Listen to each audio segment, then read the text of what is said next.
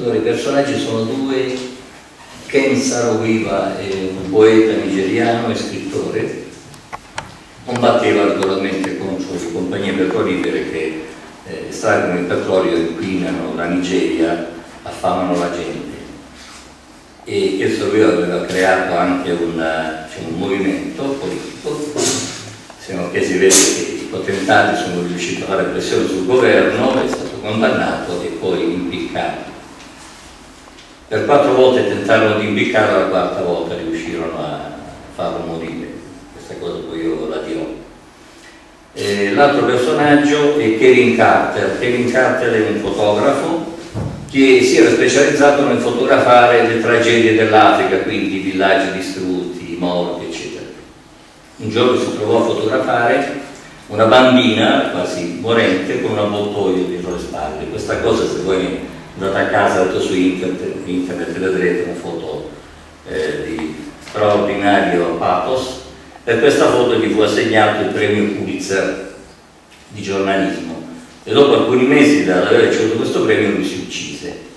Si suicidò perché non sopportava più di vivere in questo mondo. Allora io incontriamo Ken Sarowiva davanti a un muro enorme nero con una porticina ed è lui che ci apre questa porticina che di fatto ci introduce nell'Africa, quindi noi vediamo l'Africa con, eh, con Chessarovivo che ci fa entrare. E mentre eh, lui fa un, un soliloquio a un certo punto arriva Kevin Carter, questo grande fotografo, con una specie di sciarpa attorno al collo sulla quale aveva attaccato varie fotografie come i vecchi napoletani che vendevano le cartoline ai turisti Io non credevo che avrei mai veduto con i miei occhi da vivo il paradiso. Perciò fui incredulo ed attonito, fui muto al vedere di là. All'improvviso una luce, una musica celeste ed il senso che fosse un tutto condiviso.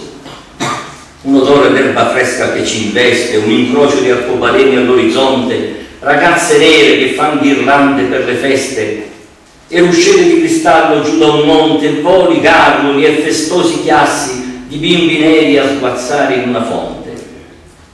Una cascata che salta giù da sassi di onici, di opale levigati, e ninfee, cigli e tulipani sparsi.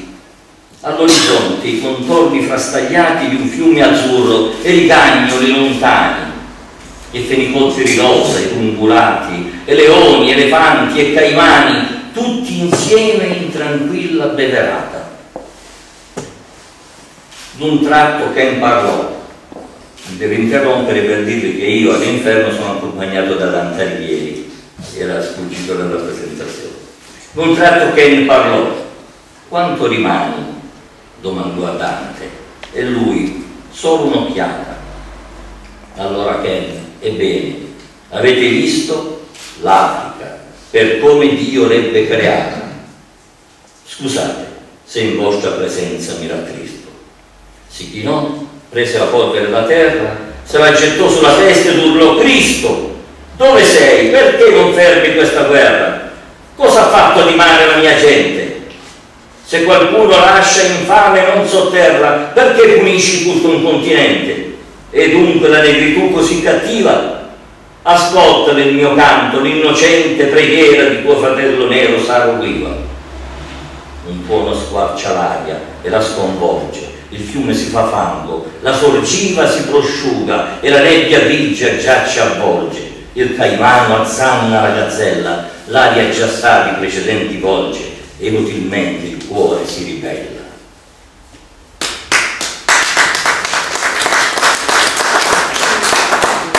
È valso l'essere poeti?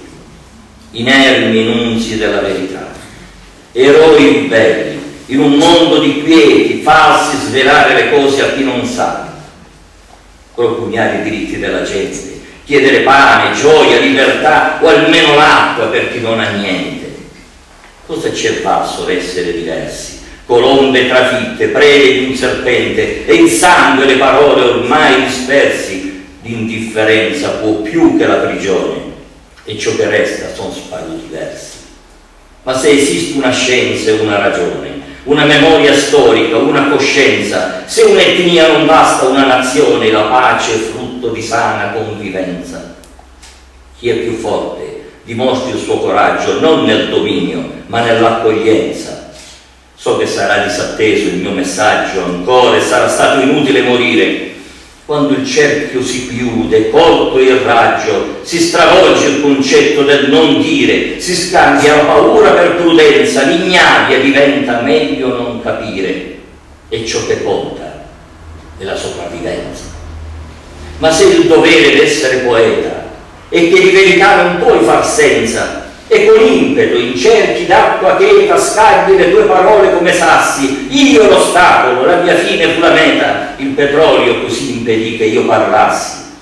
E se la morte fu il temuto approdo se la lotta fu scritto che io lasciassi un boia almeno che sapesse fare un nodo non si trovò che mi accorciasse l'agonia. Quattro volte tentò di andare al sodo l'inetto servo della compagnia. Ora vi chiedo amici siamo noi i veri morti, i caduti sulla via. Misera patria a cui servono eroi, misera mia terra e scellerato patto, a cento e a mille moriranno e poi ancora resterà senza riscatto. Ascoltammo Ken, il soliloquio triste. Lui guardava noi, poi la valle più lontano e poi la terra, un sogno che persiste. Sul ciglio di una sorte di altopiano L'occhio si apriva all'immensa vallata arida del fiume ormai solo di pantano. Ci voltammo. Dal fondo della strada un giovane veniva sui trent'anni, un po' di barba, la piuma scompigliata, sorrideva come estraneo agli affanni di quella terra, abituato alla routine, un po' sciatto e con sgualciti panni. Centinaia di foto a cartoline puntato un nastro che pendeva al petto, ritraevano scheletriche bambine. Si avvicinò. Scusate, disse, mi permetto, prendetene qualcuna per ricordo, scegliete pure, non ho fretta, aspetto. Poi ci sorrise. Benvenuti a bordo. Ed il ciglio ebbe un battito d'intesa. Sono pieno di rabbia, ma non mordo. Staccò una foto che portava appesa Prendete questa, tutta una famiglia uccisa insieme, torturata e accesa. Ah, ecco, in questa c'è pure l'altra figlia. Questo è un bambino, diciamo, denutrito. La pancia si gonfia, il bacino si assottiglia, aveva il femore più esile di un dito. Qui due bambini saltati su una mina. Questo aspetta il suo pasto proibito. Vedete come stette la manina. Che, gli disse Saro, hanno compreso. Ma lui, questa l'ho fatto una mattina, vidi la morte e lì mi sono arreso. Staccò la foto con mano tremolante, come se il braccio non reggesse il peso. Dante la prese e io guardai esitante.